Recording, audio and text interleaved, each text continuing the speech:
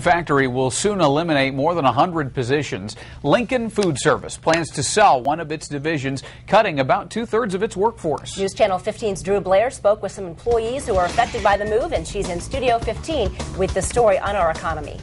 We first talked to Lincoln employees back in August. That's when they got word that job cuts could be looming. Today, their fears are realized. Ever since they told us that they were selling smallware. These days have been real long inside the factory.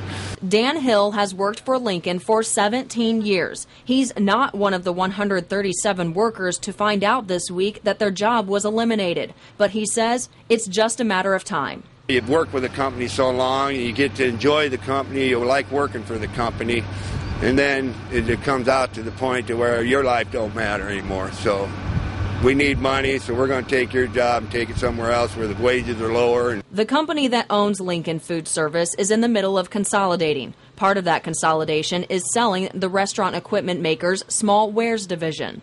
It looks as if the identified uh, suitor will now be uh, moving that work from that particular location.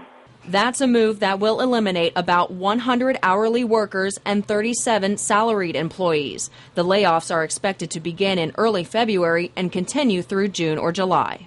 We do take this seriously. We know that this affects the community and our employees, and it's regrettable, but it's the right business decision. Once the 137 cuts are finalized, only 50 to 70 employees will be left at the plant. Those workers will make conveyor ovens, at least through next year. That leaves workers like Hill wondering what the future holds. That's the worst part, just not knowing what's happening down the road here. As far as severance packages, Lincoln's parent company has yet to work through negotiations as to what laid off workers will be offered. Lincoln Food Service has been in Fort Wayne for about 40 years. Drew Blair, News Channel 15.